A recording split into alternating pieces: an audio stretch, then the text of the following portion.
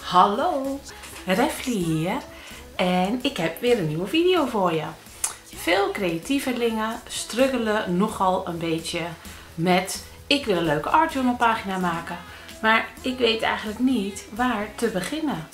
Nou, Refli to the rescue. Ik zit namelijk vol met ideeën en ik help je graag. Nou kan je bijvoorbeeld deze superleuke art journal pagina maken. En die kan je natuurlijk helemaal namaken. En het maakt niet uit waar je in werkt. Of je nou een art journal, een traveler's notebook, een scrapbook van mijn part, een agenda, een daily journal, een creative journal, een Hobonichi of in het plakboek van je moeder werkt. Maakt niet uit. Overal kan je deze leuke pagina maken. Vind je mijn video's leuk? Abonneer dan even en tik dan even dat belletje aan. Want dan krijg je een melding zodra ik een nieuwe video heb geüpload. Wel zo handig. En vind je deze video leuk? Geef dan een duimpje omhoog. Dan weet ik ook dat jij hem leuk gevonden hebt. Ik ben heel benieuwd wat je van deze pagina vindt. Kijk je helemaal mee tot het eind, dan zie je het eindresultaat en hoe ik het allemaal in elkaar geflanst heb. Gezellig. En dan nu hoppatee naar de video. Doei! Hallo, weer een nieuwe video van mij. We gaan met een stencil werken en waterverf. Pak je potlood en omlijn of omtrek het complete stencil. Dus ook alle cirkeltjes die je hier ziet.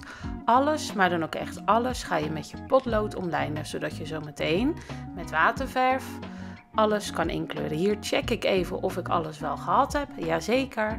Pak nu je waterverf. Dit is van uh, Art bij Marlene. Daar is de stencil ook van. Van Studio Light. En uiteraard zet ik al mijn producten netjes in de beschrijving. En hier gaan we lekker met het waterverf aan de slag. Je ziet het, het is nog een gloednieuwe set. Dus die kunnen we lekker gaan inwijden, zeg maar. Ik vind het vooral leuk als ik met waterverf werk dat de kleuren een beetje in elkaar overlopen. En dat effect krijg je als je een beetje slordig werkt. Uh, ik heb gekozen voor kleuren zoals roze, roodachtig, oranje en geel. Wat je dus ook in deze Bold and Bright set van Art by Marlene. Uh, wat je van deze set ziet, zeg maar. En elke keer pak ik een beetje een andere kleur en trek ik een beetje door de kleur heen die er al zit. Zoals je hier ziet, doe ik een beetje ja, roze-rood aan deze kant. En dan ga ik weer verder met een wat donkerdere kleur. En ik probeer elke keer een beetje te overlappen over het gedeelte wat er al was. En uh, dat is gewoon een beetje oefenen, jongens. Uh, Waterverf is eigenlijk heel grappig, want dat doet namelijk echt wat het zelf wil. Oh kijk, dat blijft, bleef dat blokje even in mijn keuken hangen. Ik zat een beetje te snetten en ik wil toch die kleuren zo puur mogelijk houden. Dus niet dat je geel hebt wat op een gegeven moment half oranje is geworden, omdat je te veel met je roze of rode verf uh, en je kwastje erin terechtgekomen bent. Dus probeer heel erg uh, je cups, of hoe heet die dingen ook weer je cups? dat is wat anders je napjes. Probeer die dan een beetje schoon te houden. En dat doe ik dan dus met keukenrols. Ik zie, hey, ik zit eigenlijk wel een beetje te snetten. En tussendoor moet je gewoon goed je kwastje even uitspoelen met water. Uh, je kan ook het beste twee potjes water neerzetten. Eén potje is puur om constant je kwastje schoon te maken. Dat water wordt dan wel steeds een beetje viezer. En het andere potje kan je gebruiken als je een beetje water wilt toevoegen aan je waterverf. Om het wat natter te krijgen, zeg maar. Zodat je daar een zo'n licht mogelijke waterverf hebt. Snap je? Oké, nou wat ik zo leuk vind aan dit stencil is, het zijn heel veel verschillende rondjes en cirkels en driehoekjes en stipjes, nou ja, noem maar op. Dus ja, je bent wel even bezig met dat waterverf, maar stiekem, dit vind ik het fijnst om te doen. Ik hoef er niet bij na te denken. Ik pak gewoon een kleur waarvan ik denk, oh nou, ik heb net roze gehad, nou ga ik nou weer geel of ga ik nu weer oranje. Je hoeft alleen maar die lijntjes te volgen. En uh, vind je deze nou heel lastig, kies dan een wat simpeler stencil uit. Je hoeft natuurlijk niet gelijk super ingewikkeld te beginnen. Maar deze, toen ik het stencil zag, was ik er gelijk verliefd op. Ik, dat moest ik gewoon hebben. Um, en ik zal inderdaad in de beschrijving de producten linken die ik gebruikt heb, zodat jullie zelf ook kunnen kijken uh, of je die wel of niet wil kopen. Of je gaat natuurlijk gewoon je stencil gebruiken die je nog hebt liggen. Want ik denk zomaar dat jullie net als ik genoeg materialen in huis hebben. Maar goed, het is altijd leuk om uh, nieuwe spulletjes te kopen, ja toch? Oké, nou dit duurt natuurlijk nog wel eventjes, want uh, het is best wel aardig wat werk om die hele stencil in te kleuren. Maar wat ik al zei, voor mij is dit ja, een soort zen, uh, een soort meditatief zelfs. Uh, lekkere muziekje op. Uh, kan je nu ook doen, hè? Dan mute je mij gewoon even lekker. Je zet je eigen muziekje op en je gaat lekker aan de slag. Maar ik wilde jullie toch dit hele gedeelte laten zien, omdat je dan aan het eind ook heel goed het eindresultaat kan zien. En dat je nu constant kan volgen qua kleurcombinatie, wat ik pak, wat de volgorde is. En niet dat dat uitmaakt, wat ik al eerder zei. Je kan gewoon lekker alle kleuren gebruiken die je wil en laat ze lekker in elkaar overlopen. Maar als je dat nog een beetje lastig vindt, dan kan je ook gewoon nadoen. Daar is helemaal niks mis mee. Tenzij je het gaat verkopen, dat is minder grappig. Nee hoor, als je lekker creatief bezig wil zijn en je doet het gewoon voor jezelf, dan mag je gewoon dingen nadoen om het te leren. Zo werkt dat nu eenmaal. Uh, je, je leert door het te doen, door anderen te volgen. En uiteindelijk kom je met je eigen ideetjes en je eigen dingetjes en dan wordt het allemaal steeds makkelijker. I promise you. Het wordt echt makkelijker. Nou ja, hier uh, dacht ik wel toen ik deze oranje gebruikte van oh, dat is wel een beetje een donkere kleur. Dus waarschijnlijk ga ik het nog een beetje oplichten met geel. En dat is ook het fijne met waterverf. Als het nog gewoon nat is, dan dep je het vrij simpel een klein beetje weg met je keukenrol. Dat is gewoon helemaal niet zo uh, ingewikkeld. Dus het is zeg maar vergevend. Dus ook als je een foutje maakt, maakt als je een foutje maakt. Nee hoor, gewoon als je een foutje maakt, dan kan je met een beetje water en keukenrol heel makkelijk het waterverf waar je het niet had willen hebben, een beetje wegha uh, weghalen.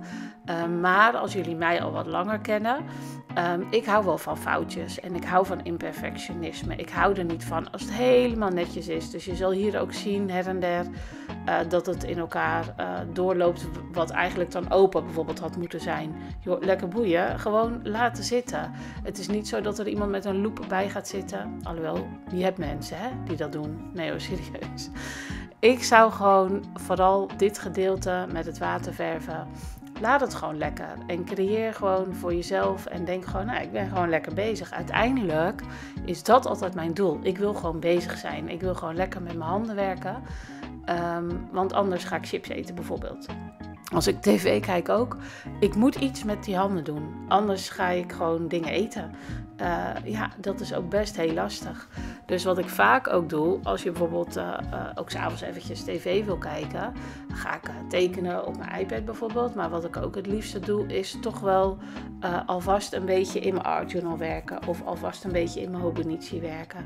En ik heb daarvoor ooit een keer een bankbakje gemaakt. En dat is gewoon een bakje waar een aantal materialen in zit die makkelijk zijn om gelijk te pakken. Zodat je niet elke keer moet bedenken, oh, wat moet ik nou eigenlijk doen en wat moet ik nou pakken. Uh, zo hou ik heel erg ook van Posca pens. Um, en dan doe ik een setje waterverf erin en een waterkwastje.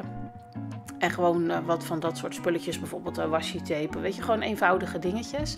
En die zitten gewoon in een bakje. En als ik dan op de bank ga zitten met mijn artjournal op schoot, kan ik toch gewoon lekker een beetje aanrommelen. Zonder dat die handjes de chipzak gaan pakken. Want dat is wat we moeten voorkomen natuurlijk. Nee, wel gekkigheid. Als je lekker chips wil eten, ga je lekker chips eten. Maar voor mij is het belangrijk om het niet te doen. Zoals sommigen van jullie ook weten, heb ik diabetes type 1. En ja, ik moet gewoon heel erg opletten wat ik eet. Nou, ik moet helemaal niks, maar ik wil heel graag opeten. Oh, opeten. Zie je, daar ga ik al.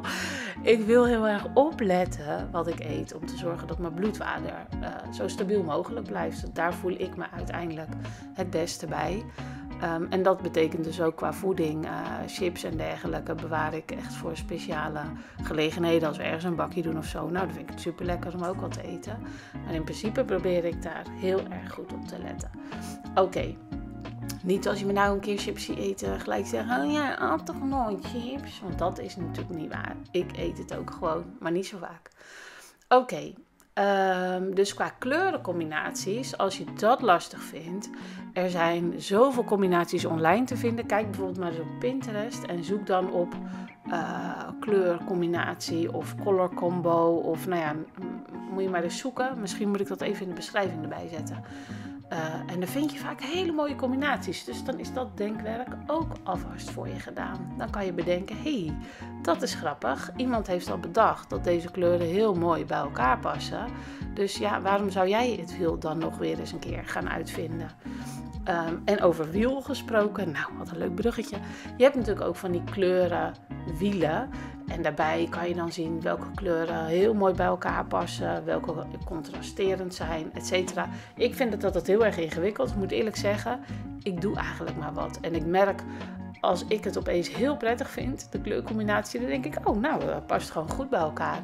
Ik heb eerlijk gezegd geen zin om na te denken of kleuren wel of niet bij elkaar horen en of het wel of niet kan, zeg maar, wat ik doe. Dat vind ik dan, dan heb ik geen zin meer om dingen te maken als ik daarover na moet denken.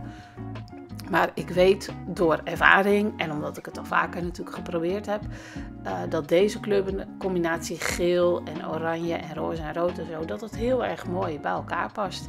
Je kan dit bijvoorbeeld ook doen met groen en blauw tinten. Oh, dat is het. Dit zijn geloof ik de warme kleuren. En groen en blauw zijn de koude kleuren of zo. Zoiets. Nou goed, anyway. Als je hier bijvoorbeeld nu opeens groen doorheen zou doen, dan zou dat minder mooi ogen, denk ik. Weet ik trouwens helemaal niet, want ik gebruik ook heel vaak beetje de regenboogkleuren, zeg maar. Nou weet ik helemaal niet of het echt regenboog, regenboogkleuren zijn. Maar voor mijn gevoel, hè, van geel naar oranje, rood, groen, blauw, paars, etc. Nou, het kwastje wat ik hier gebruik wordt ook heel vaak gevraagd. Die zal ik ook eens gaan linken uh, in mijn videootje. Want uh, dit is een heel fijn kwastje om mee te werken. En ik denk ook dat het komt door het gripstukje wat eraan zit. Oh, hier versprong mijn video in één stukje. Zag je dat? Ik heb zeker heel even een klein stuk kortje, een kort stukje vergeten op te nemen. Maakt helemaal niet uit. Als je het al zo lang volhoudt, toppie joppie, super lief dat je gewoon die hele video zit te kijken. En uh, ja, ik moet hem wel een beetje versnellen, want anders uh, kijkt helemaal niemand die video's te zien dat hij 45 minuten is, bij wijze van spreken. Uh, maar zelf vind ik het altijd heel zen om naar dingen te kijken die gewoon wat langer duren. Oké, volgende hoofdstuk is het stof. Ik werk al heel lang, het liefst ook met stof. Gewoon echt mixed media en dus ook nog stof erbij. Deze rondjes had ik natuurlijk al van tevoren geknipt. En de blaadjes ook. En sommige blaadjes zijn van stof, die lichtgroene. En die turquoise zijn van vilt, omdat ik het gewoon een hele mooie kleur vind. Oh, hoor je mij net nou nog zeggen, als je groen toevoegt is het niet zo mooi. Nou, moet je nou kijken. Het springt er gewoon echt uit. Dus het is natuurlijk helemaal super om het wel te doen. Nou, die, die uh, rondjes, dat zijn verschillende laagjes stof. En die ga ik met mijn naaigerij aan elkaar maken. Don't worry, don't worry. Ik laat je echt niet het hele half uur zien. Of weet ik hoe lang ik ermee bezig ben geweest. Nou, hier ben ik niet zo heel erg handig in. Uh, maar wat ik dus wel doe, de drie rondjes leg ik op elkaar. En ik begin dan bij de kleinste. En ik weet ook al niet hoe deze steek heet, maar gewoon die streepjes steek, zeg maar. De simpelste die er is. Dan uh, ga ik het hele rondje rond. En uiteindelijk, kijk, nu deze is af, heb ik alle rondjes gedaan. En nu zit ik dus te bedenken, wat wil ik nou eigenlijk met die blaadjes?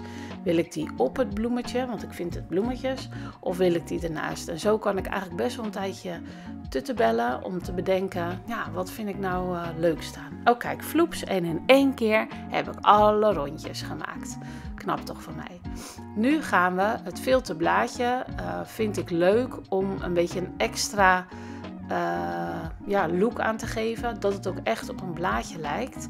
En don't worry, ik ga dit ook weer niet helemaal tot het eind laten zien. Dus gewoon super saai. Ik en een naald. Um, maar om te laten zien hoe ik het doe, laat ik het beginnetje even zien. Zodat je weet, oké, zo doet ze dat. Dus ik ga één keer heen en één keer terug. Zodat je echt dat hele witte binnenrandje van het blaadje ziet. En daarna, pa, pa, pa, heb ik ook nog de zijkantnerfjes, of weet ik hoe je dat noemt, heb ik ook nog even gemaakt. Want ik vond het toch wel veel leuker uh, dan alleen het groene filter blaadje, zeg maar, op mijn pagina te leggen. Um, en aan de achterkant kan je het heel makkelijk afwerken, want je plakt het daarna toch op die pagina. Dus dat is niet heel erg ingewikkeld, zeg maar, dat het speciaal vast moet blijven zitten of zo. Nou, wat er nu alleen nog ontbreekt is een titel. Nou, zoals je ziet heb ik bij die groene blaadjes alleen het middenstuk gedaan, want het stof was een beetje fragiel, dus dat ging gewoon niet verder. Dit zijn mijn ABC-stempeltjes. Die heb ik al netjes even op volgorde gelegd. Heb je niet gezien? Dat ging super snel. Um, en hiermee stempel ik de titel van deze art journal page. En dat is The Earth Loves in Flowers. Gewoon grappig titeltje. Verder niet heel veel over nadenken. Um, je kan uh, dit natuurlijk helemaal maken zoals je zelf wil qua titel. Je kan hem schrijven. Dit keer bedacht ik, ik vind het eens een keer leuk om stempeltjes te gebruiken. En uh, ik had ook niet heel veel ruimte meer over uh, om mijn titel te plakken. En zo vind ik hem er wel heel leuk uitzien. Ik plak nog even een Stetson inktje om de randen ook nog even te inkten, zodat de titel nog iets meer naar buiten springt. Oké, okay. dus uh, dit is Stetson. Nou, zoek ik ook op, zet ik ook in de beschrijving. Ik weet even niet uit mijn hoofd, ja, pink, huppeldepup kleur. Het zijn die kleinere doosjes, die heb ik ook al eeuwen. Maar die inkt, dat blijft het gewoon goed doen, joh. Dat is gewoon echt heel grappig. Nou, om alles vast te maken gebruik ik gel medium. Uh, omdat het stof is, vind ik dat het, prettigst om mee te werken. En dit keer uh, doe ik eigenlijk alleen de onderkant van de stof plakken. Nou, ik doe er eentje, de rest snap je wel. Dus die plak ik ook in het midden zo meteen. En uh, om die titel te plakken gebruik ik ook gel medium. Alleen voor die houten embellishments, daarvoor gebruik ik tacky glue. Want dat vind ik gewoon veel prettiger, blijft veel beter en steviger vastzitten. Nou, kijk nou. En nu heb je gewoon een fantastisch leuke art journal pagina gemaakt met stof en vilt. Hoe leuk is dat? Kijk, laat ik de close-ups nog even zien. En ik zal op mijn blog alle foto's en details en beschrijving en de hele mikmak ook nog even goed terug laten komen. Bedankt voor het kijken. Doei! Hallo, ben ik nog even? Vond je de Art Journal page leuk? Ga je hem ook maken? Laat het mij dan ook even weten in de comments hieronder. En niet vergeten te subscriben natuurlijk. Vind je mijn video leuk? Kijk dan even hier links van me voor nog meer creatieve inspiratie. Nou, doei!